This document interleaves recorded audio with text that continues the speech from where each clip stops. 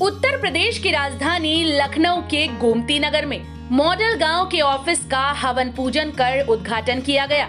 इस कार्यक्रम में वरिष्ठ आईएएस अरुण कुमार सिन्हा, आईएएस हीरालाल के साथ में कई वरिष्ठ अधिकारी भी उपस्थित रहे।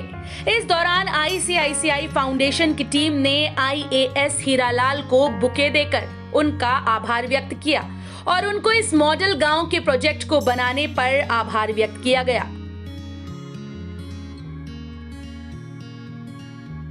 दरअसल ये मॉडल गाँव का एक ऐसा प्रोजेक्ट है जिसके तहत गाँव गाँव को मॉडल गाँव बनाना है।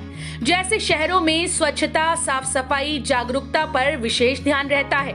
उसी तरीके से मॉडल गाँव एक ऐसा प्रोजेक्ट है जहाँ पर लोगों को मॉडल गाँव के माध्यम से साफ़ सफ़ाई के प्रति जागरूकता एवं कृषि पर क्या कार्य होते हैं और ग्रामीणों के क्या अधिकार हैं, इन सब की जानकारी दी जाएगी।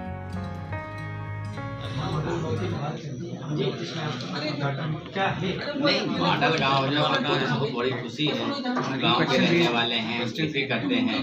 पांडव विलेज ये है कि यदि गाँव में गाँव में हमारे विकास होगा चाहे स्वास्थ्य है शिक्षा है सफ़ाई है और उनको जानकारी है कृषि की जानकारी है। हमारे बहुत सारे लोग अब आप समझे साठ से सत्तर लोग खेती करते हैं। ये खेती को उनको मॉडल बिल के बारे में जानकारी कराई जाएगी स्वास्थ्य के बारे में सफ़ाई के बारे में हमारे बहुत सारे साथी वही जानते नहीं है क्या क्या है रहन सहन कैसा। तो जो ये सी के माध्यम से मान्य गंगवा जी के माध्यम से शुरू किया गया है तो हम गाँव वालों को बहुत बड़ी खुशी होगी।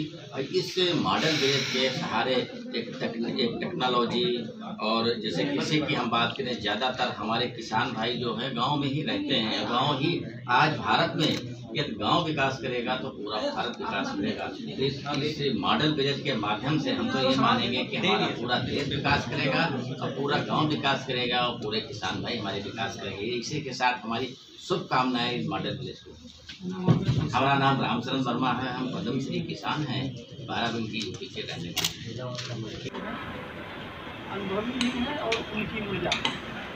तो दोनों का कॉम्बिनेशन बहुत काम आएगा। कामयाबी का ये मापदंड ये है कि हमारे चार मार्गदर्शक हैं।